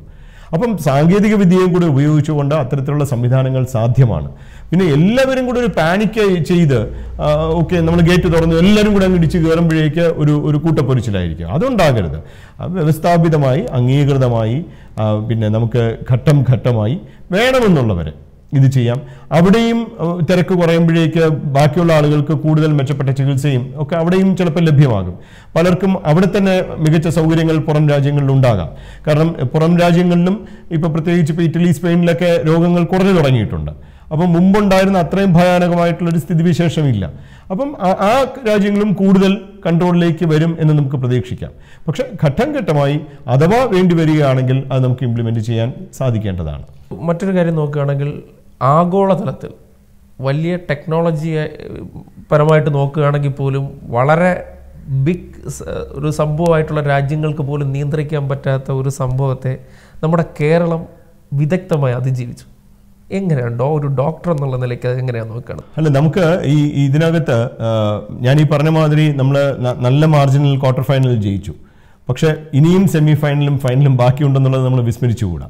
അപ്പം ഇതുവരെയുള്ള തീർച്ചയായിട്ടും നമ്മൾ സ്വീകരിച്ചിരിക്കുന്ന പിന്നെ മാനദണ്ഡങ്ങൾ അത് കേരളത്തിലും അതുപോലെ ഇന്ത്യയിലും പിന്നെ ഒരുപാട് സംസ്ഥാനങ്ങൾ ഒരുപാട് സംസ്ഥാനങ്ങൾ ഇപ്പോൾ ഛത്തീസ്ഗഡൊക്കെ എനിക്ക് തോന്നുന്നു പത്തിൽ താഴെ കേസ് മറ്റോ ഛത്തീസ്ഗഡിലുള്ളൂ. പല സംസ്ഥാനങ്ങളിലും അവരാൽ പറ്റുന്ന രീതിയിൽ ഇപ്പം നമുക്ക് കേരളത്തിന്റെ അത്ര സാക്ഷരതയും കേരളത്തിന്റെ അത്ര പ്രബുദ്ധതയൊന്നും മറ്റു പല സംസ്ഥാനങ്ങളിലില്ല. അപ്പോൾ ഇന്ത്യ എന്ന് പറയുന്നത് നമുക്കറിയാം ഒരുപാട് ദരിദ്രരും ഒരുപാട് നിരക്ഷരരുടെയും നാടാണ്. അപ്പോൾ ആ രാജ്യം തന്നെ പതിനായിരത്തിൽ താഴെ കേസുകളിലേക്ക് ഇതിനെ കൺട്രോൾ ചെയ്യാൻ കാരണം ഇന്ത്യയിലും അമേരിക്കയിലും ഒരുമിച്ചാണ് തുടങ്ങിയത്. ഒരു ഒരു ഘട്ടത്തിലേക്ക് എത്തിയത് തീർച്ചയായിട്ടും വലിയൊരു കാര്യമാണ്. കേരളത്തിന്റെ പൊതുജനാരോഗ്യ സംവിധാനം ഉണർന്ന് പ്രവർത്തിച്ചിട്ടുണ്ട്. കേരളത്തിലെ സർക്കാർ ശക്തമായിട്ടുള്ള നേതൃത്വം നൽകിയിട്ടുണ്ട്. അപ്പം അതുകൊണ്ട് തീർച്ചയായിട്ടും നമുക്ക് അഭിമാനിക്കാൻ സാധിക്കുന്നതാണ്. പക്ഷേ ഇതിനകത്ത് കുറേ ഘടകങ്ങളുണ്ട്.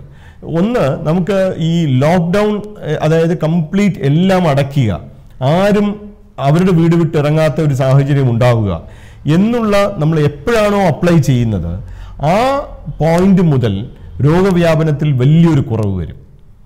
ഈ രോഗത്തിന്റെ ഒരു പ്രത്യേകത എന്താന്ന് പറഞ്ഞാൽ ഇപ്പൊ ഇന്ന് നമ്മൾ അഞ്ച് പേർക്ക് സ്ഥിരീകരിച്ചു എന്ന് പറഞ്ഞാൽ ഈ അഞ്ച് പേർക്ക് രോഗം കിട്ടിയിരിക്കുന്നത് ഒരു പത്ത് ദിവസം മുമ്പാണ് അല്ലെങ്കിൽ ഒരാഴ്ച മുമ്പാണ്. അപ്പൊ ഇന്ന് ഇവിടെ അഞ്ഞൂറ് പേർക്ക് രോഗമുണ്ട് എന്ന് പറഞ്ഞാൽ അതിന്റെ അർത്ഥം ഈ അഞ്ഞൂറ് പേർ പേരിലേക്ക് ഒരാഴ്ച മുമ്പ് ഈ വൈറസ് അല്ലെങ്കിൽ പത്ത് ദിവസം മുമ്പ് ഈ വൈറസ് കയറിയെന്നാണ് ഇന്ന് അഞ്ഞൂറ് പേരിൽ കയറിയെന്നല്ല അപ്പം പത്ത് ദിവസം മുമ്പ് അഞ്ഞൂറ് പേരിലാണ് ഇത് കയറിയിരുന്നതെങ്കിൽ ഇന്ന് അത് കയറിയിരിക്കുന്നത് ലോക്ക്ഡൌൺ ഇല്ല ഒരു നിയന്ത്രണവും ഇല്ലെങ്കിൽ ഇന്ന് അത് കയറിയിരിക്കുന്നത് ചിലപ്പോൾ അമ്പതിനായിരം പേരിലായിരിക്കും.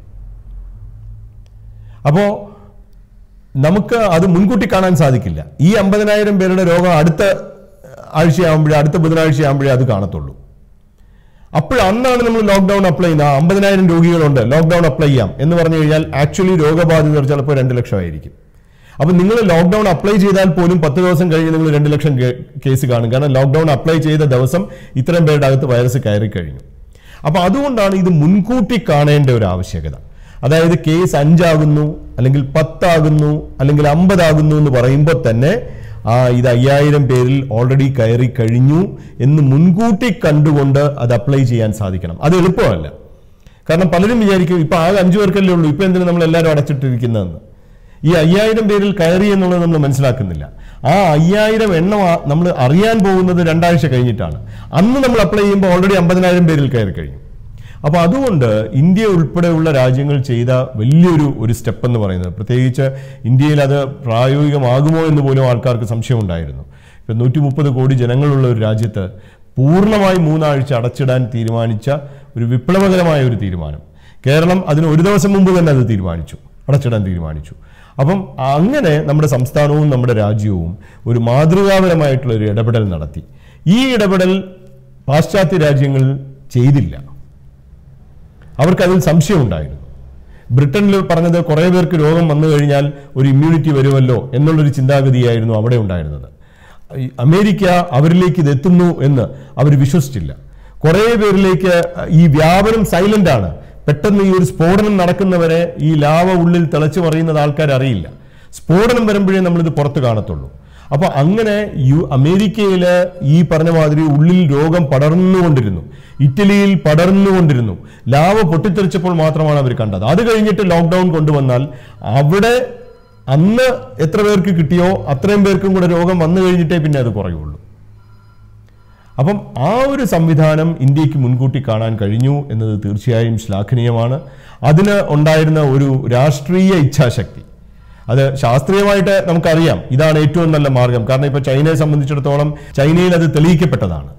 അതായത് ചൈനയിൽ രോഗം കൂടിക്കൊണ്ടിരുന്ന ഒരു ഘട്ടത്തിൽ ലോക്ക്ഡൗൺ അപ്ലൈ ചെയ്ത് കഴിഞ്ഞപ്പോൾ രോഗം കുറയുന്ന ഒരു ഘട്ടത്തിലേക്ക് അവർക്ക് കൊണ്ടുവരാൻ സാധിച്ചു. അപ്പോൾ ഈ ലോക്ക്ഡൗൺ എന്ന് പറയുന്നത് വളരെ നല്ലൊരു മാർഗമാണ് എന്നുള്ളത് ശാസ്ത്രലോകത്തിന് അറിയാം പക്ഷെ അത് കൃത്യമായി എപ്പോൾ അപ്ലൈ ചെയ്യണം എന്നുള്ളതിലാണ്. അത് നമ്മുടെ സംസ്ഥാനത്തിനും നമ്മുടെ രാജ്യത്തിനും ആ- കൃത്യമായ സമയത്ത് അപ്ലൈ ചെയ്യാൻ സാധിച്ചു. പ്രത്യേകിച്ച് കേരളത്തിന് കൃത്യമായ സമയത്ത് അത് അപ്ലൈ ചെയ്യാൻ സാധിച്ചു എന്നുള്ളത് കൊണ്ട് നമ്മുടെ കൈപ്പിടിയിൽ ഒതുങ്ങുന്ന തരത്തിലേക്ക് രോഗത്തെയും രോഗവ്യാപനത്തെയും നമുക്ക് കൊണ്ടെത്തിക്കാൻ സാധിച്ചു. അത് ഗവൺമെന്റ് വലിയൊരു പ്രഷർ ചെലുത്തിയത് ഐ എം എ പോലുള്ള സംഘടനകളാണ്. ലോക്ക്ഡൗൺ വേണമെന്നുള്ള റിപ്പോർട്ട് കൊടുക്കുകയും രാജ്യവും സ്റ്റേറ്റും അടച്ചിട്ടുണ്ടെന്നുള്ള വളരെ പെട്ടെന്ന് നമ്മുടെ ആരോഗ്യ രംഗത്തെ വിദഗ്ധർ പോലും അതിൽ ഇടപെട്ടു എന്നുള്ളതല്ലേ അതിന്റെ അർത്ഥം? അല്ല തീർച്ചയായിട്ടും ആരോഗ്യ രംഗത്ത് നിന്ന് ഒരു ശക്തമായിട്ടുള്ള ഇടപെടൽ ഉണ്ടായിട്ടുണ്ട്. ഇപ്പോൾ ഐ എം എയെ സംബന്ധിച്ചിടത്തോളം ഇന്ത്യൻ മെഡിക്കൽ അസോസിയേഷനെ സംബന്ധിച്ചിടത്തോളം ശാസ്ത്രം ശാസ്ത്രമായി കാണുന്ന ഒരു സംഘടനയാണ്. ഐ എം എക്ക് മറ്റു തരത്തിലുള്ള രാഷ്ട്രീയമൊന്നുമില്ല. അപ്പോൾ ഇതിനകത്ത് എന്നുള്ളത് മാത്രമല്ല അഭിപ്രായങ്ങൾ തുറന്ന് പറയുന്ന ഒരു സംഘടന കൂടിയാണ്. അത് ചില അഭിപ്രായങ്ങൾ ചിലർക്ക് ഇഷ്ടപ്പെടും ചില അഭിപ്രായങ്ങൾ ചിലർക്ക് ഇഷ്ടപ്പെടാതിരിക്കും. അപ്പം പരസ്യമായിട്ടുള്ള ഒരുപാട് വിമർശനത്തിനും ഐ എം എ വിധേയമായി. ചില ആളുകൾക്ക് ഐ എം എ പറയുന്ന പല അഭിപ്രായങ്ങളോടും വിയോജിപ്പുള്ള ആൾക്കാരുമുണ്ട്. പക്ഷെ എന്നാൽ പോലും ഒരു അഭിപ്രായം പറയാതിരിക്കാൻ സാധിക്കില്ല. പക്ഷെ എനിക്ക് തോന്നുന്നു ഐ എം എ അഭിപ്രായം പറഞ്ഞു എന്നുള്ളത് വസ്തുത തന്നെയാണ്. പക്ഷെ ആരോഗ്യവകുപ്പും തീർച്ചയായിട്ടും ആരോഗ്യവകുപ്പിലെ ഉദ്യോഗസ്ഥരും ആരോഗ്യവകുപ്പിലെ ശാസ്ത്രജ്ഞർക്കുമെല്ലാം തീർച്ചയായിട്ടും സമാന അഭിപ്രായം തന്നെ ഉണ്ടായിരുന്നു. ആൻഡ് സർക്കാരിനെ സംബന്ധിച്ചിടത്തോളം സർക്കാർ ഒരു തുറന്ന മനസ്സോടെ അത് സ്വീകരിക്കുകയും ചെയ്തു. അപ്പോൾ അത് ഇപ്പൊ ഐ എം എ പറഞ്ഞിരിക്കുന്നത് എന്ന് പറഞ്ഞാൽ ഐ എം എ ഉണ്ടാക്കിയെടുത്തൊരു അഭിപ്രായമല്ല. ലോകത്തെ പലതരത്തിലുള്ള തെളിവുകൾ സമന്വയിപ്പിച്ചുകൊണ്ട് ഇതായിരിക്കാം നല്ലത് എന്ന് മെഡിക്കൽ സമൂഹം കരുതുന്നു എന്ന് ഒരുപാട് ചർച്ചകൾക്ക് ശേഷമാണ് ഐ എം എ അത് പറഞ്ഞത്. എന്നുള്ള മാത്രമല്ല ആദ്യഘട്ടം മുതൽ നമ്മൾ ടെസ്റ്റുകളെ കുറിച്ച് പറയുന്നുണ്ട്. ഈ ആന്റിബോഡി ടെസ്റ്റ് കൊണ്ടുവരേണ്ട ആവശ്യത്തെക്കുറിച്ച് പറയുന്നുണ്ട്. അപ്പം പക്ഷെ അതെല്ലാം പിന്നെ പിന്നെ അംഗീകരിക്കുവാനും സ്വീകരിക്കുവാനും സർക്കാർ തയ്യാറായി എന്നുള്ളത് ഒരു വലിയ കാര്യമാണ്. ഇപ്പൊ ഈ ഘട്ടത്തിലും പിന്നെ വീണ്ടും ലോക്ക്ഡൌൺ വീണ്ടും ഒരു രണ്ടാഴ്ച കൂടി നീട്ടണം അല്ലെങ്കിൽ മൂന്നാഴ്ച കൂടി നീട്ടണം എന്ന് ഐ എം എ ആവശ്യപ്പെട്ടിട്ടുണ്ട്. അതിനെ എതിർക്കുന്ന പലരുമുണ്ട്. അത് ശരിയുമാണ്. കാരണം ഒരു സാമ്പത്തിക രംഗത്ത് നിന്ന് നോക്കുമ്പോൾ അല്ലെങ്കിൽ ഒരു സാമൂഹ്യ രംഗത്ത് നിന്ന് നോക്കുമ്പോൾ ഇതുപോലുള്ള ഒരു ലോക്ക്ഡൗൺ മുമ്പോട്ട് കൊണ്ടുപോവുക എളുപ്പമല്ല. അത് നമ്മൾ മനസ്സിലാക്കുന്നു. പക്ഷേ ഒരു വൈദ്യശാസ്ത്രപരമായി നോക്കുമ്പോൾ ജീവനുകൾ രക്ഷിക്കാൻ വേണ്ടി അനിവാര്യമാണെന്നുള്ളൊരു അഭിപ്രായമാണ് ഐ എം എ പറയുന്നത്. അത് മാത്രം പരിഗണിച്ചുകൊണ്ട് സർക്കാരിന് ഒരു തീരുമാനം എടുക്കാൻ സാധിക്കില്ല. പക്ഷേ പല കാര്യങ്ങൾ പരിഗണിക്കുമ്പോൾ ഇതും കൂടി പരിഗണിക്കപ്പെടേണ്ടതുണ്ട് എന്നുള്ളത് കൊണ്ടാണ് അത്തരത്തിലുള്ളൊരു അഭിപ്രായം ഐ എം എ പറയുന്നത്. അപ്പോൾ പിന്നെ എല്ലാവരും ഐ എം എ ഇടപെട്ടിട്ടുണ്ട് ശാസ്ത്ര സാഹിത്യ പരിഷത്ത് ഇടപെട്ടിട്ടുണ്ട്. പിന്നെ സർക്കാരിന്റെ ആരോഗ്യ വിദഗ്ധർ തന്നെ ഏറ്റവും ശാസ്ത്രീയമായ തീരുമാനങ്ങൾ എടുത്തിട്ടുണ്ട്. സർക്കാർ തന്നെ ഒരു വിദഗ്ധ സമിതിയെ പിന്നെ നിയമിച്ചിരുന്നു. ആ വിദഗ്ധ സമിതിയിലെ അംഗങ്ങളും വളരെ സുതാര്യമായിട്ട് എല്ലാവരുടെയും അഭിപ്രായങ്ങൾ ശേഖരിക്കുന്നുണ്ട്. അപ്പോൾ അങ്ങനെ പിന്നെ ഒരു ഒരു കൂട്ടായ്മ പിന്നെ പ്രത്യേകിച്ച് ശാസ്ത്രീയമായ ഒരു കൂട്ടായ്മ പിന്നെ രാഷ്ട്രീയ കാഴ്ചപ്പാടുകൾക്ക് അതീതമായി രൂപീകരിക്കാൻ സാധിച്ചു എന്നുള്ളത് ഒരു വലിയ കാര്യമാണ്. അപ്പോൾ ഒരു വേറൊരു വലിയ കാര്യം അറിയേണ്ടത് ഒരു ഇതൊരു ഈ മഹാമാരിയെ ചെറുക്കാൻ വേണ്ടിയുള്ള ഒരു നമുക്ക് വാക്സിനേഷൻ ഇല്ല വൈറസിനെ ചെറുക്കാൻ വേണ്ടി. എത്ര കാലം പിടിക്കും അങ്ങനെ ഒരു വാക്സിനേഷൻ റെഡിയായി വരാനായി തയ്യാറാക്കി എടുക്കാനും പരീക്ഷണങ്ങളുടെ എല്ലാം പൂർത്തീകരിച്ചെടുക്കാനായിട്ട് എത്ര കാലം എടുക്കുമെന്നാണ് ഡോക്ടറുടെ അഭിപ്രായം? ഇപ്പോൾ ഈ കോവിഡ് പത്തൊമ്പതിനെ സംബന്ധിച്ചിടത്തോളം ഒരുപക്ഷെ നമുക്ക് ഇപ്പം ഏറ്റവും കൂടുതൽ അറിവുള്ള ഒരു വൈറസ് കോവിഡ് പത്തൊമ്പതാണ്. കാരണം ഒരുപാട് ഗവേഷണങ്ങൾ ലോകത്തിന്റെ നാനാ സ്ഥലങ്ങളിൽ നടക്കുന്നുണ്ട്. പക്ഷെ അത് പറയുമ്പോഴും ഒരു വാക്സിൻ ഉണ്ടാക്കിയെടുക്കുക എന്ന് പറയുന്നത് അത്ര എളുപ്പമുള്ള ഒരു കാര്യമല്ല. ഇപ്പൊ എച്ച് ഐ വിക്കെതിരെ നമുക്ക് ഇപ്പോഴും വാക്സിൻ ഇല്ല. അപ്പം ചില വൈറസുകൾക്കെതിരെ വാക്സിൻ ഉണ്ട്. പക്ഷെ എല്ലാ വൈറസുകൾക്കെതിരെയും വാക്സിൻ ഇല്ല. അത് ശ്രമകരമാണ്. പക്ഷേ ചില വാക്സിനുകൾ ആ- പരീക്ഷണത്തിന്റെ ചില അന്ത്യഘട്ടങ്ങളിലാണ്. നമുക്ക് അഥവാ ഇപ്പൊ ഇപ്പൊ തന്നെ ചില കണ്ടുപിടുത്തങ്ങൾ ഉണ്ടാവുകയാണെങ്കിൽ തന്നെയും സാർവത്രികമായ ഒരു പിന്നെ എല്ലാവർക്കും ലഭ്യമാക്കുവാൻ ഏറ്റവും ചുരുങ്ങിയത് ഒരു ആറുമാസം മുതൽ ഒരു വർഷം വരെയെങ്കിലും എടുക്കുമെന്നാണ് ലോകശാസ്ത്ര സംഘടനകൾ അഭിപ്രായപ്പെടുന്നത്. അപ്പം നമുക്ക് പെട്ടെന്ന് ഒരു ഒരു വാക്സിൻ ഉണ്ടാകുക എന്നുള്ളത് അത്ര എളുപ്പമായിരിക്കില്ല. മരുന്ന് ഒരു ഉണ്ടാവുകയാണെങ്കിൽ അതിനും ഈ ഗവേഷണങ്ങൾ നടന്നു വരികയാണ്. അപ്പം അതിനും ഈ പറഞ്ഞ മാതിരി ഒരു ഒരു സമയതാമസം വേണ്ടി വരും എന്നുള്ളതാണ് പലരും കരുതുന്നത്. അപ്പോൾ ഈ ഈ പൊതുജനാരോഗ്യ ഇടപെടലുകൾ വഴി നമ്മളിപ്പോൾ ചെയ്തുകൊണ്ടിരിക്കുന്ന ഇടപെടലുകൾ വഴി ഇത് യഥാർത്ഥത്തിൽ ഒരു ഒരു നൂറ് കൊല്ലം പഴക്കമുള്ള ഒരു ഇടപെടലാണ്. മനുഷ്യൻ ചന്ദ്രനിലും പിന്നെ ചന്ദ്രയാനിലും ഒക്കെ എത്തി നിൽക്കുന്ന സമയത്ത് നമുക്ക് ഒരു ഒരു വൈറസ് വന്ന് നമ്മൾ ഇത്രയും വിറപ്പിച്ചിട്ട് നമുക്ക് അങ്ങോട്ടും ഇങ്ങോട്ടും പിന്നെ ഹസ്തദാനം പോലും നടത്താൻ സാധിക്കുന്നില്ല എന്നൊരു ഘട്ടത്തിലേക്ക് എത്തി എന്നുള്ളതൊരു ശാസ്ത്ര സത്യമാണ്. നൂറ് കൊല്ലം മുമ്പ് അന്ന് സ്പാനിഷ് ഫ്ലൂ ഉണ്ടായപ്പോൾ എന്തൊക്കെ മാർഗങ്ങൾ അവലംബിച്ചു എന്ന് ഇന്നിപ്പോൾ ശാസ്ത്രം പുറകെ തിരിഞ്ഞ് പുറകോട്ട് നോക്കുകയാണ്. അതേ മാർഗങ്ങളാണ് നൂറ് കൊല്ലത്തിന് എപ്പോഴും ഇപ്പോഴും നമ്മൾ ഇത് ചെയ്തുകൊണ്ടിരിക്കുന്നത്. പക്ഷെ അതിൽ നമ്മളൊരു നാണക്കേട് വിചാരിക്കേണ്ട കാര്യമില്ല.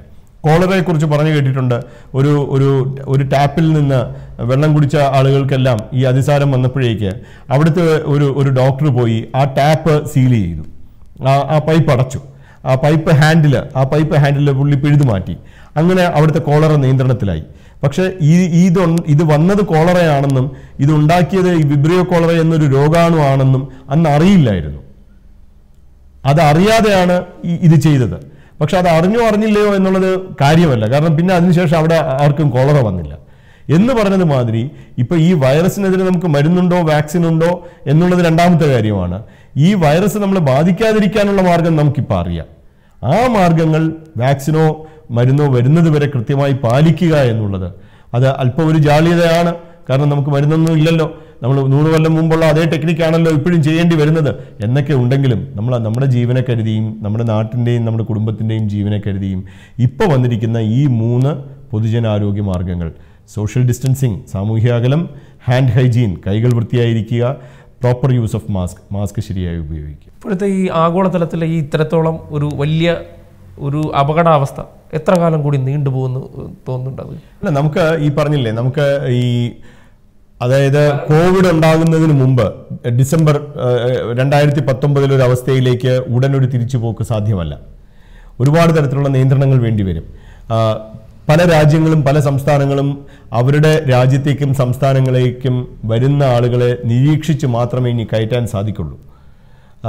അപ്പം ഈ ഒരു ഇപ്പം ചൈന പോലും ചൈന ചൈനയിൽ നിന്നാണ് ലോകം മുഴുവൻ ഇത് പോയത്. പക്ഷെ ചൈനയിലേക്ക് ഇപ്പോൾ ആൾക്കാർക്ക് പോകാൻ എളുപ്പമല്ല. കാരണം ചൈന കംപ്ലീറ്റ് നിരീക്ഷണത്തിൽ പുതിയ കേസുകൾ വരരുത് വരാതിരിക്കാൻ അവർ ശ്രദ്ധിക്കുകയാണ്. അവരുടെ രാജ്യത്തേക്ക് ഇമ്പോർട്ട് ചെയ്യാതിരിക്കാൻ. അപ്പം അത്തരത്തിലുള്ള മാർഗങ്ങൾ നമ്മൾ അവലംബിക്കേണ്ടി വരും. അപ്പോൾ ഒരു വാക്സിനോ അല്ലെങ്കിൽ ഒരു ഇതോ ഒരു ഒരു മരുന്നോ വരുന്നത് വരെ കുറേ നിയന്ത്രണങ്ങൾ നമുക്ക് വേണ്ടി വന്നേക്കും. അത് ഏത് ഏത് അറ്റം വരെ പോകേണ്ടി വരും എന്നുള്ളത് നമുക്ക് ഘട്ടം ഘട്ടമായി തീരുമാനിക്കാൻ പറ്റുള്ളൂ. പക്ഷേ ഏതായാലും ഈ പിന്നെ നമ്മൾ ഈ കൊറോണ വരുന്നതിന് മുമ്പ് ഇടപഴകിയ പോലുള്ള ഒരു ഇടപഴകൽ ഇനി അല്പനാളത്തേക്ക് സാധ്യമാകില്ല. ഓരോ സ്റ്റേ ഓരോ ബിസിനസ്സിലും അതുപോലെ ഓരോ നമ്മുടെ ദൈനംദിന പ്രവർത്തികളിലും ഈ നമ്മൾ ഞാൻ നേരത്തെ പറഞ്ഞ മൂന്ന് ആപ്തവാക്യങ്ങൾ social distancing hand hygiene and proper use of mask അത് അപ്ലൈ ചെയ്തുകൊണ്ടുള്ള ഒരു ഇടപെടലായിരിക്കാം കുറേ മാസങ്ങളിലേക്കെങ്കിലും നമുക്ക് വേണ്ടി വരിക. അപ്പോൾ ഒരു ഒരുപക്ഷെ ഈ വൈറസ് വ്യാപനം തടഞ്ഞാലും ഒരു നമുക്ക് അങ്ങോട്ടും ഇങ്ങോട്ടുള്ള യാത്രകൾ പോലും വരും കാലങ്ങളിൽ വലിയ ഒരു ദുർഘടമായ ഒരു അവസ്ഥയിലേക്ക് പോകും. അങ്ങനെയല്ല പറഞ്ഞത്. ഒരു രാജ്യങ്ങളിലേക്കൊക്കെ ചെല്ലാൻ ഇനിയിപ്പോൾ കൃത്യമായ മോണിറ്ററിംഗ് ഉണ്ടാവും സ്ക്രീനിങ് ഉണ്ടാവും. മോണിറ്ററിംഗ് വേണ്ടി വരും. പക്ഷേ നമുക്ക് ഇപ്പോൾ ഇപ്പൊ പെട്ടെന്ന് തന്നെ വൈറസിനെ കണ്ടുപിടിക്കാനുള്ള ടെസ്റ്റുകളോ അതൊക്കെ ഉണ്ടാകാം. ഇപ്പോൾ ഒരാൾക്ക് ഇപ്പം പതിനാല് ദിവസം തന്നെ ഇരിക്കേണ്ടി വന്നെന്നിരിക്കില്ല പെട്ടെന്ന് ഇപ്പം നമുക്ക് മൂന്ന് ദിവസത്തെ തന്നെ തിരിച്ചറിയാവുന്ന ഒരു ടെസ്റ്റ് ഉണ്ട്. അല്ലെങ്കിൽ അഞ്ച് ദിവസത്തിൽ തന്നെ അറിയാവുന്ന ടെസ്റ്റ് ഉണ്ട്. അപ്പം നമുക്ക് ക്വാറന്റൈൻ കാലാവധി കുറയ്ക്കാൻ സാധിക്കും. കൂടുതൽ സെൻസിറ്റീവായിട്ട് പെട്ടെന്ന് തന്നെ കണ്ടുപിടിക്കാം എന്നൊക്കെ വരുമ്പോൾ അപ്പം ഇതേ ഇപ്പോഴുള്ള അതേ കാഠിന്യത്തിലുള്ള പ്രശ്നങ്ങൾ ഉണ്ടാവും എന്നല്ല ഞാൻ പറയുന്നത്. പക്ഷെ നമുക്ക് ഈ ഈ ഇപ്പോൾ നമുക്കൊരു വാക്സിനോ മരുന്നോ വരുന്നത് വരെ സാമൂഹ്യപരമായി പാലിക്കേണ്ട ചില മാനദണ്ഡങ്ങൾ നമുക്ക് പാലിക്കേണ്ടി വരും. അത് നമ്മൾ അല്ലാതെയും ചെയ്യുന്നുണ്ട്. നമ്മുടെ ദൈനംദിന ജീവിതത്തിൽ തന്നെ നമ്മൾ രാവിലെ എണീറ്റിട്ട് ആദ്യ മനുഷ്യൻ പല്ലയിച്ചില്ലല്ലോ നമ്മൾ പല്ലേയിക്കുന്നില്ലേ നമ്മൾ ഷേവ് ചെയ്യുന്നില്ലേ? നമ്മൾ കുളിക്കുന്നില്ലേ? നമ്മൾ നനച്ചുടുപ്പിടുന്നില്ലേ സോപ്പിട്ട് കൈ കഴുകുന്നു. ഇത് ഇത് വരുന്നതിന് മുമ്പും നമ്മൾ കൈ കഴുകുമല്ലോ. ഭക്ഷണം കഴിക്കും മുമ്പൊക്കെ കൈ കഴുകുന്നില്ല? അപ്പോൾ ഇതെല്ലാം ഓരോ സാമൂഹ്യ ആരോഗ്യ പാഠങ്ങളാണ്. അങ്ങനെ ഈ കോവിഡും അത് ഈ ആരോഗ്യ പാഠങ്ങൾ പാലിക്കുന്നത് വഴി കോവിഡ് മാത്രമല്ല ഒരുപാട് രോഗങ്ങളെ നമുക്ക് നിയന്ത്രിക്കാൻ സാധിക്കും. ഇപ്പം ഈ തവണ തന്നെ ഈ ഉദര രോഗങ്ങളും ശ്വാസകോശ രോഗങ്ങളൊക്കെ വളരെ കുറവായിരിക്കും. കാരണം ഇതേ രീതിയിലാണ് പലതും പകരുന്നത്. അപ്പോൾ അതുകൊണ്ട് ആരോഗ്യപരമായ സാമൂഹ്യ ശീലങ്ങൾ വരുന്നു എന്ന് നമ്മൾ കരുതിയാൽ മതി. അതാണ്. വ്യക്തി ശുചിത്വം. ഓരോരുത്തരും അവരവരാൽ ശുചിത്വം പാലിച്ചാൽ കൊറോണ എന്നല്ല നമ്മുടെ സമൂഹത്തിൽ വ്യാപരിക്കുന്ന പല അസുഖങ്ങളെയും ചെറുക്കാൻ കഴിയുമെന്നാണ് ആരോഗ്യ വിദഗ്ധർ നൽകുന്ന ഉപദേശം. അത് കൃത്യമായി പാലിക്കുക എന്നതാണ് ഓരോരുത്തരും ചെയ്യേണ്ടത്.